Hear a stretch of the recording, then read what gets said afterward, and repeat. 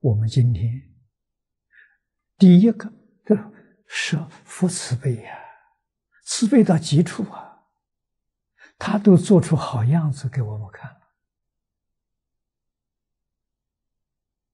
啊，这个身体在世间需要的是什么呢？饮食、衣服。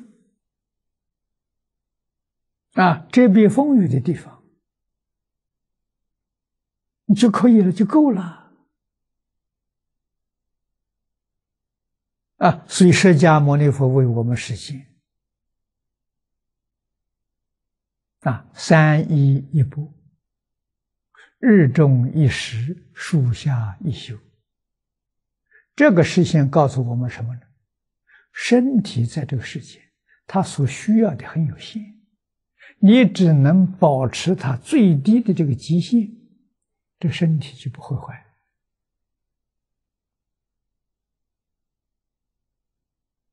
啊，这个叫做什么呢？中国古人叫知足常乐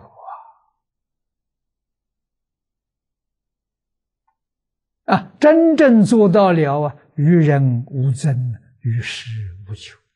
啊，世间人争来争去的什么，还不就是这些？自身之具吗，啊，他要贪图享受，啊，不就是这些？啊，像释迦牟尼佛那种生活，谁谁要啊？谁都不愿意过那个生活，啊，绝对不会有人跟释迦牟尼佛争这个生活的资源，不可能。他表演这个东西给我们看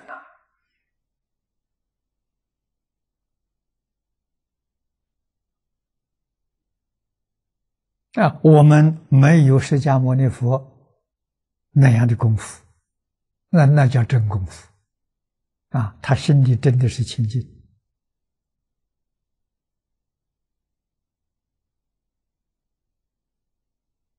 啊！我们从他的这一生行仪当中看，他的身体确实是金刚不坏身啊！每一天露宿在外面啊，他养成习惯了。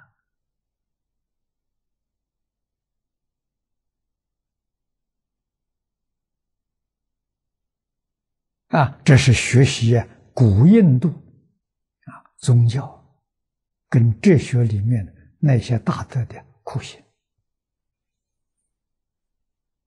啊，把物质生活降低到最贫的这个这个最低的水平啊，他的自在，他心永远是定的，他不贪，不嗔，不痴。啊，没有傲慢，啊，不怀疑，他他都没有了。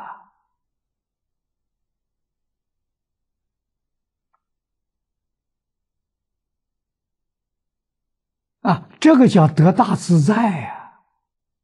啊，这是大自在的生活。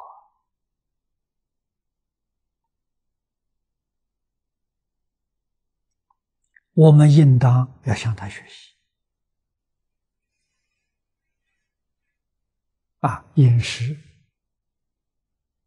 衣着、居住环境适可而止，啊，不需要讲求啊华丽、奢侈，那是错误的，那就是罪过。